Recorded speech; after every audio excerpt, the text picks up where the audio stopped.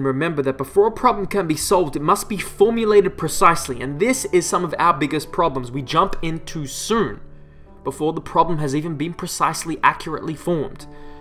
And women are often intent on formulating the problem when they are discussing something, and they need to be listened to, even questioned to help ensure clarity in this formation.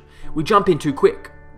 And it's not just guys, Everybody does this sometimes. We jump in too quick. Uh, I feel like my remedy for this has been I will first, I've understood through the fire, through having tough conversations with important women in my life that, you know, I've made, they've told me.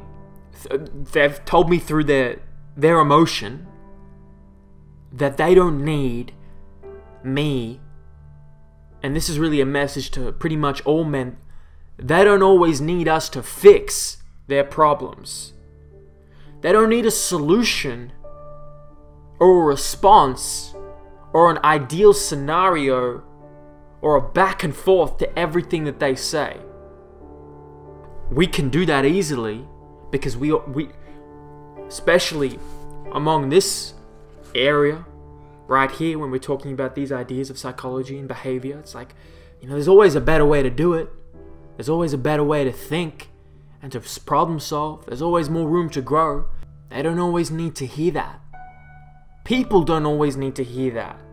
And one way I've trying to I've maneuvered around this is just by asking, "Hey, before you go on, do you just want me to listen here? Do you just want someone to to hear you and to listen, or do you actually want me to ask ask you some questions and question you and challenge you and create some some dialogue from this or are you just trying to vent? Are you just trying to let some energy out of you right now?